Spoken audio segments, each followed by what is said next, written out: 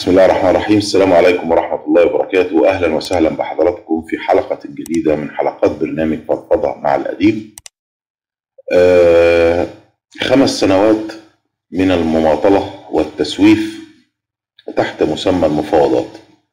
والنتيجة والمحصلة هي صفر. نعم صفر كبير.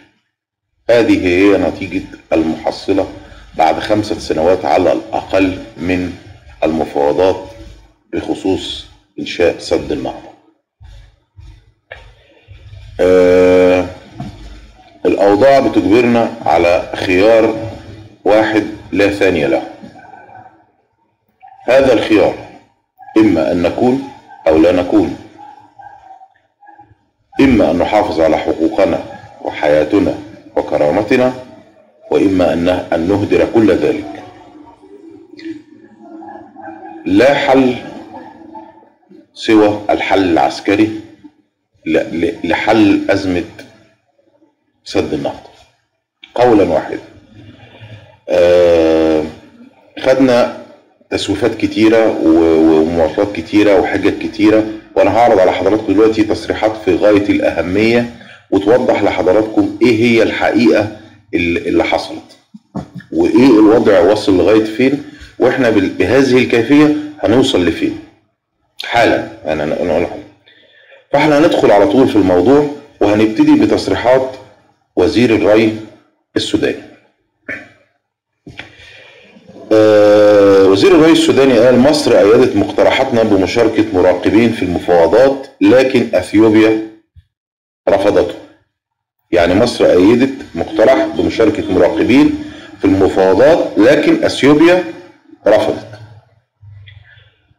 السيسي. أقول للأشقاء الأثيوبيين أن الخيارات مفتوحة إذا تم المساس بنقطة مياه لمصر.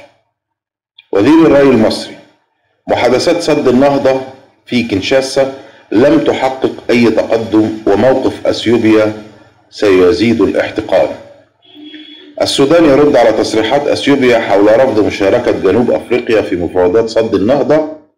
وقد نفت الخارجية السودانية ادعاءات إثيوبيا حول رفض مصر والسودان مشاركة جنوب إفريقيا في في مفاوضات سد النهضة. وقالت أن السودان ومصر رحبا رحبتا بمقترح اشتراك جنوب أفريقيا ضمن فريق مفاوضات سد النهضة.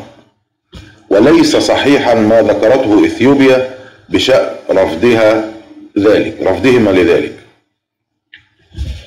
أما الدكتور أحمد المفتي وهو الخبير الدولي وممثل, وممثل الخرطوم السابق في مفاوضات سد النهضة أكد أن أثيوبيا أفشلت اجتماعات كينشاسا بنسبة 100% وأضاف أن أثيوبيا استغنت عن عبارة الملء والتشغيل من أجل توفير الكهرباء والتي خدعت بهما مصر والسودان طوال عشر سنوات واستخدمت عبارة المحاصصة والبيع بديلا منها. آه كل ده بيقول إن ليس لنا إلا خياران. هو خيار واحد لأن الخيار الأولاني أو أو الخطوة الأو أو هي تعتبرش خيار لأنها خطوة اللي هي اللجوء لمجلس الأمن. آه فعلق قال اللجوء لمجلس اللجوء للخيار العسكري لابد أن يسبقه بالطبع الذهاب لمجلس الأمن حتى يلزم إثيوبيا بوقف عملية بناء السد لحين التوصل لاتفاق ملزم وعادل بين الأطراف الثلاثة. فضلا عن وقف الملء الثاني الذي الذي تتحدث عنه أديس أبابا. إذا حضراتكم إحنا قدامنا خيار واحد. أي نعم بتسبقه خطوة وهي الذهاب لمجلس الأمن. إن مجلس الأمن يعني يلزم يلزم إثيوبيا بأنها آه يعني يعني تتوصل لاتفاق عادل وملزم للأطراف الثلاثة مصر اثيوبيا السودان. كويس؟ طيب.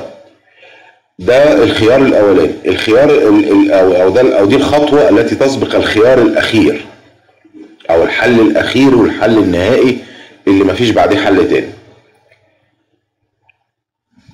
مجلس الأمن المفروض انه يلزم أثيوبيا بذلك ويقف ويتم إيقاف الملء الثاني مؤقتا لحين التوصل لاتفاق. ده المفروض. بعد كده نفترض ان إن مجلس الأمن كالعادة لم يستطع إن هو يجبر أثيوبيا على هذا. يبقى الحل إيه؟ لم يتبقى سوى حل واحد فقط وهو الحل العسكري. لا بديل إلا إلا أمامنا إلا ضرب السد. ضرب لأن السد ده هيبور 4 مليون فدان. هيزيد هيرفع نسبة الملوحة في ال في ال في ال في, ال في الأراضي الزراعية. السد ده هيقلل نسبة المياه الجوفية. هنستورد هنستورد غالبية منتجاتنا الزراعية أو أو محاصيلنا الزراعية. هنستوردها. آه، أربعة مليون فرصة عمل هتروح هتضيع.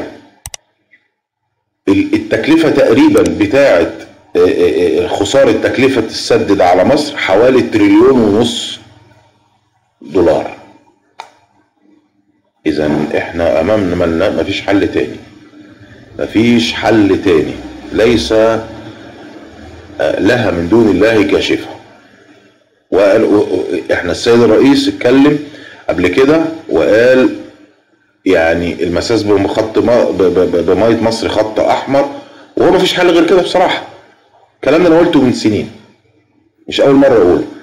وقلت قبل كده إن المفاوضات دي ما هي إلا مماطلة وتضييع وقت ومصاريف و و و و, ولكن يعني ما يعني ما يمكن ما حدش اقتنع وقتها بالكلام ده.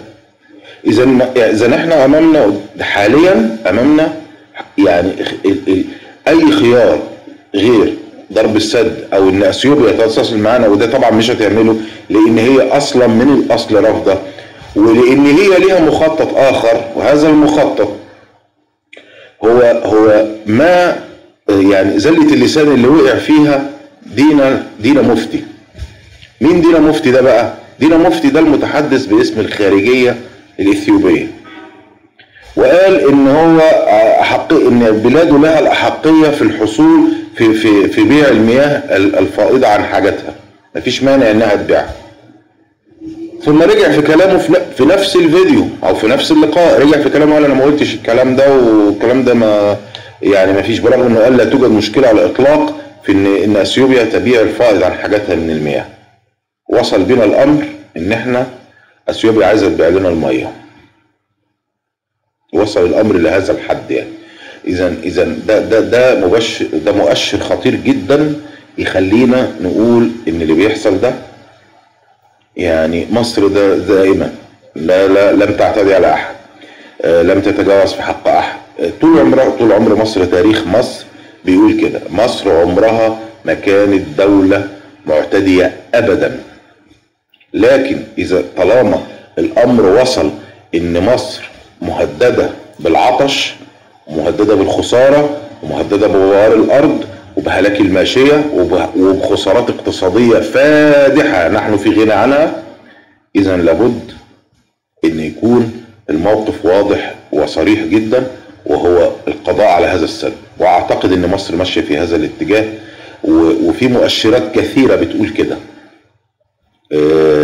الناس فهمت إن يعني إن إن إن الكلام اللي قاله الرئيس امبارح إن يعني إن إن بندعم الأشقاء الاثيوبيين والخيارات مفتوحة. يعني دي دي دي لغة دي اللغة المهذبة اللي بتتعامل بها دائما مصر. مصر ما بتتعاملش إلا بلغة الأخلاق واللغة المهذبة.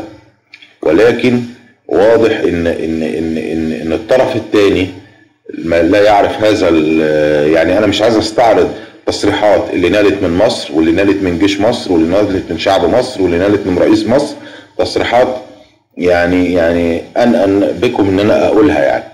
فطبعا إحنا ما فيش حل تاني قدامنا غير الحل ده. وخصوصا إن إن نوايا إثيوبيا بانت بانت إن إحنا والله إحنا هنبيع المية بقى. يعني كان عاجبكم بقى هنبيع المية. ومصر ملهاش بقى حق والكلام الفاضي الكلام ده ما ينفعش. لا الكلام ده ما ينفعش. الكلام ده ما ينفعش ومش هيحصل. وشعب مصر مش هيسكت. مش هيستنى لغاية لما يموت من العطش. يعني إحنا عندنا ما يكفينا من المشاكل. مش مستحملين.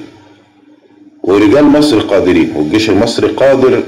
وأنا يمكن في قبل كده في لقاء قبل كده مع حضراتكم قلت لكم إن الجيش المصري قادر قولا واحدا انه يدك السد ده على دماغهم. ورجالة مصر قادرين ومصر قادرة بعون الله. اذا إحنا قدامنا دلوقتي حل واحد فقط وقريبا جدا جدا. إحنا فاضل حوالي 81 يوم على بدء الملء. توقعوا حضراتكم خلال الأيام المقبلة إن هيبقى فيه مفاجأة. هيبقى فيه مفاجأة قريبا آه ومفاجأة متوقعة. مفاجأة متوقعة. وبتقول اللي بيحصل والدلائل بتقول عليه. أما حتة ان إن إحنا ننتظر مفاوضات تاني يعني أنا برضه بقى أنا هنا بوجه ندائي للجانب المصري. أرجوكم كفاية مماطلة. الناس دي مش بتاعه حل سلمي. الناس دي نيتها واضحة. الناس دي عايزة تبيع لنا المية. الناس دي عايزة تأذينا. الناس دي عايزة تعطش مصر. فأرجوكم كفاية ضياع الوقت. لأن لو اتملى الملء الثاني تبقى المخاطر فادحة. وحضراتكم عارفين مني أكتر مني الكلام ده. لذلك فأنا يعني نرجو من الله أن يتم توجيه هذه الضربة بأسرع وقت ممكن حفاظا على مقدرات مصر وأمن مصر. وزي ما قال الرئيس قبل كده اللي عايز ياخد نقطة مية واحدة من مياه النيل اللي عايز يجرب يتفضل يجرب. إحنا عايزينكم بقى تجربوا. إحنا إحنا وصلنا معاكم بصراحة شعب مصر اتخنق تماما من اللي بيحصل ده. أكتر من كده بقت العملية يعني آه غير مستحبة. قريبا إن شاء الله في لقاء قادم هنكشف عن بعض ال ال ال ما يدور في الكواليس بإذن الله بخصوص هذا الأمر. ألقاكم في الحركه المقبلة إن شاء الله تعالى. واترككم في رعاية الله وأمنه وسلامته. السلام عليكم ورحمة الله وبركاته.